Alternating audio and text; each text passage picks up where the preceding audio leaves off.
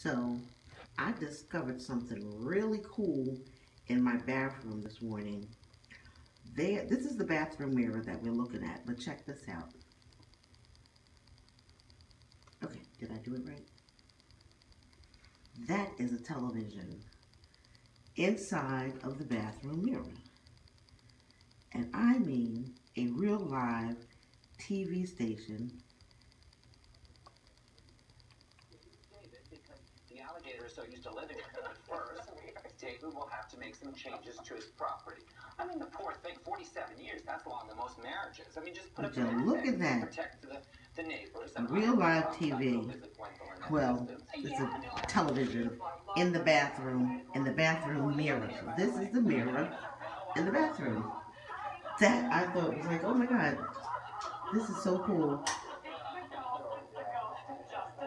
Anyway, that ends my fascination with the bathroom mirror.